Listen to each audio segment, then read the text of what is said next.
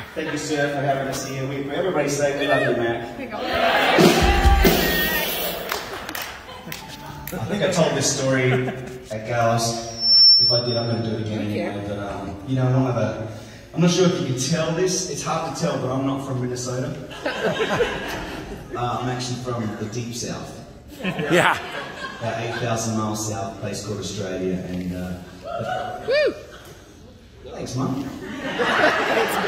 and the first time, one of the first times I came with the Newsboys, um, in fact, actually, it was the first time we came with the Newsboys back in the day. I used to be in a band called the Newsboys. Yeah!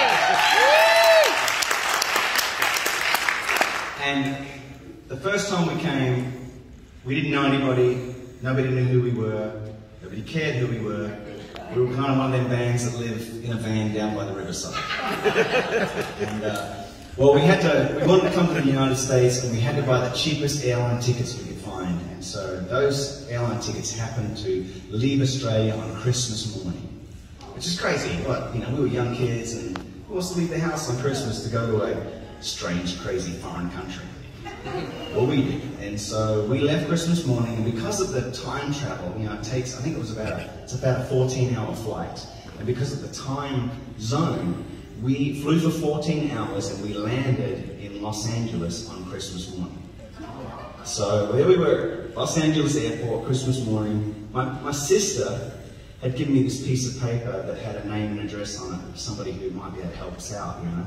And so I remember we got into this taxi cab. It was a freak out, man. You know, anyone been to Los Angeles? Okay.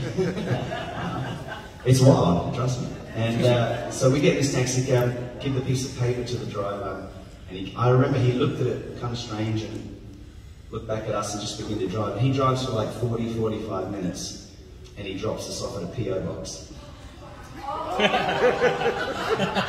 People don't live at a PO box. And we found that out. And so there we were at this PO box. And I can remember this again really clearly. I remember looking over and there was a small kind of apartment complex. And uh, it just had just these doors. And hey, we were desperate. So I walked over and just began to knock on doors. You know, door number one, nobody.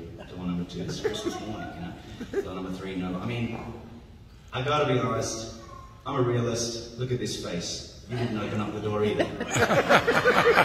but door number five opened up. I'll never forget, it was this young couple with two young kids, and they had compassion on us, you know, felt sorry for these uh, crazy looking foreigners, and they invited us in and invited us in for Christmas with them. Wow. And, uh, Wow. It's America, isn't it? It really is. Yeah. So that was our, one of our first impressions of that, and uh, it's the America that I'm going to love, and hopefully we can keep it that way.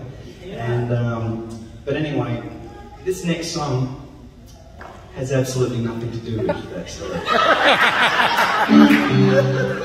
but it is one of the first songs I wrote in the United States of America.